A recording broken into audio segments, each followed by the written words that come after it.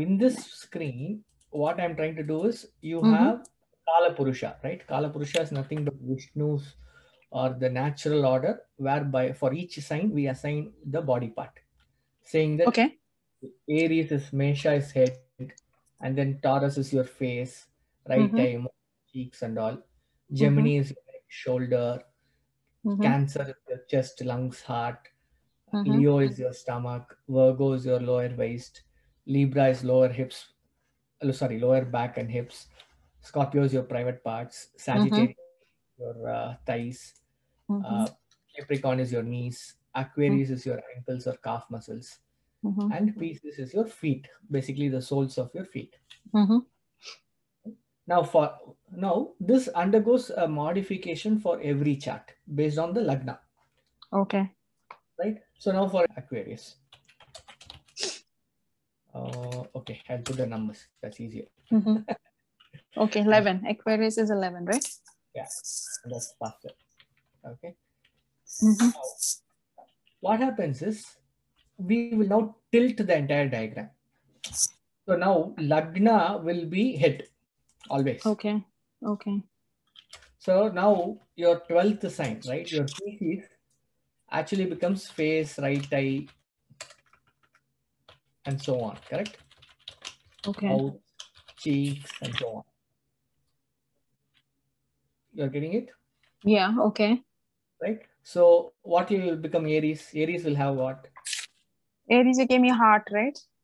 Aries will have neck, shoulder, and uh, right ear, right? Because that that's a third house now. Ah, okay. Okay. Okay. Just uh, redoing Just changing. Okay. Okay. Got it. Got it. Okay. Right? Okay. So now look at where you have malefics in your chart. Hmm. For okay, let's come to the malefics a little bit later. Now, sixth house in a chart is always Roga. Roga, Sixth house is lower. Okay. Or diseases. Okay. Eighth house is uh, chronic diseases. Okay. And then you have 12th house, which is, which is losses. Okay. And then you have something called as a Badhaka. Hmm. I'm not Badhaka is a arch- um, difficulty, right? Is it Badhaka is an obstacle. obstacle? Okay.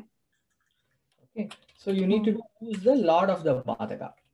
So Badhaka is fine. Saturn. Saturn, right? For me. No, no, no. It's not natural Badhaka is taken as Rahu. Oh, okay. Okay. So now what happens is for if I take Aries as the Lagna, Hmm. then the 11th house becomes Badhaka. Oh, so that is Aquarius, calves and ankles. No, no, forget the calf and uh, ankle. Okay. Let's take this 11th house becomes uh, this thing, right? Okay. Now,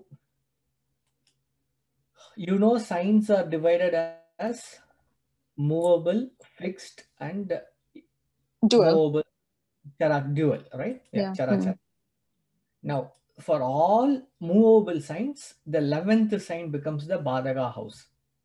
Movable sign. 11th house is the obstacle. 11th house is the obstacle, which is Rahu, you're saying? It, it No. just no, note it as obstacle, right? Okay. So mine is a movable sign. Mine is Cancer. Hold on, hold on. Okay. Mm-hmm. Now, take the next one. If I take a fixed sign, Mm-hmm. the ninth house becomes the Badhaka. Sixth house, ninth is the Badhaka. Okay. Ninth house is Badhaka. For Okay. dual sign, 7th Mhm. house becomes Badhaka. For dual house, seventh house is Badhaka. Okay. Okay.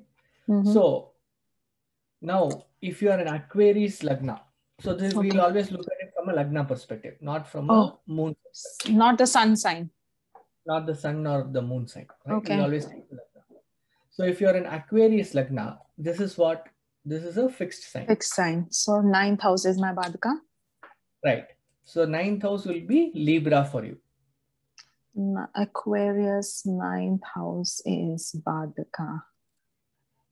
Okay, in your uh, thing, it will be Lib- Libra. Okay, ninth house. Okay. Correct. For for Aquarius, ninth house is Libra only, right?